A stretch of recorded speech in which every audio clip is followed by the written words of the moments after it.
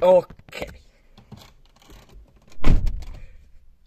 Mannaggia Christian! Ma dico, ma porca puttana, no, ma perché? Perché succedono queste cose? Ma, se questo mondiale era scritto che doveva arrivare a Valencia, per quanto è bello, perché rovinarlo in questo modo? Perché? Perché? Basta, basta, basta. Non devo più urlare, se no mi, mi cacciano di casa, eh, perché si sente lo stesso anche se sono in macchina. E mi fa male la gola. Non voglio dire nulla sull'incidente! Perché, allora, i telecronisti dell'RSI hanno detto che non, non, sanno di chi è la colpa. voglio sentire Meda, per, perché è più esperto. Scusate, telecronisti dell'RSI. Io personalmente... Che...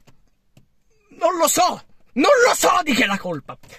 Alex Marquez, diciamo, Alex Marquez non so dove poteva, altro poteva andare. Poteva, l'unica cosa che poteva fare è frenare di più di come stava facendo. Perché non, se cambiava traiettoria forse era anche peggio, ragazzi. Però sono opinioni mie e magari sono sbagliate perché io non mi fido, mi fido più di Guido Meda che parla di, quest, di questo incidente che di me. Punto, ho deciso questa cosa. Eh, e se vogliamo dare la colpa a Bagnaia, l'unica, l'unica possibile, ragazzi, è che ha stretto troppo. Io spero che non sia colpa tua. Io lo spero. Ma no, no, sono incazzato lo stesso. Sono incazzato lo stesso perché anche se. Anche se. Anche se. Porca puttana, mi vengono le parole. La colpa è di uno o di altro. Oh, vaffanculo! Avete comunque fatto incazzare. Ah.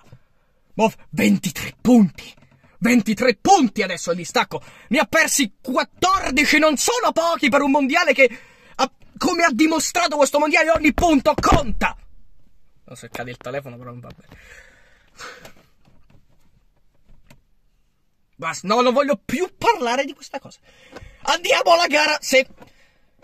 Era da tanto tempo però che non commontavo una gara senza pecco. Vabbè, eh... Marquez e Martin lo stesso discorso di ieri. Cioè Martin si accontenti adesso ancora di più! Si accontenta. Perché, cioè, che co cosa può volere più di così, Martin? Marquez, vabbè, lascio stare. Mark. Poi, quei due bastardi che si sono piati senza quei due che è arrivato terzo, Pedro! Vaffanculo, il Fantamoto GP mi sono messo terzo. No, forse no, vaffanculo. Bravo Pedro!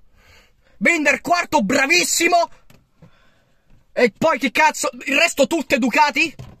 A parte quei due deficienti di merda! Diciamo, eh, sì, esatto. Che sono arrivati svariati, cre- Bezzecchi, Gian Antonio Morbidelli e Bastianini, questi, questi quattro. Eh, evidentemente di più non potevano fare. Comunque le Ducati sono fortissime solo Costa e Binder, almeno questo weekend, l'hanno potuti mettere un po' in difficoltà. Per il resto, tutto normale, eccetto che le Aprilia... Oh! Vabbè, l'Aprilia 3K su po' meno, ma l'Aprilia ufficiale!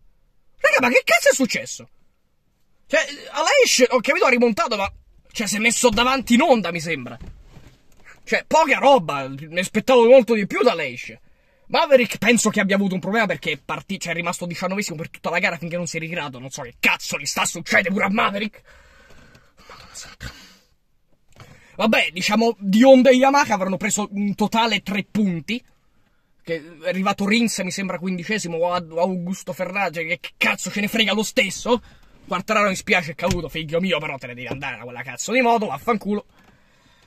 E basta, cioè, basta. Miller fatto schifo. Ormai tutte le Ducati lo passano, tutte, tutte le Ducati l'hanno passato. Quindi fai spazio a Pedro. Fate spazio a Pedro che a PTM, chiaro? Ah. Fa spazio a Pedro. Ah. Perché ho detto a ah, due, tre volte?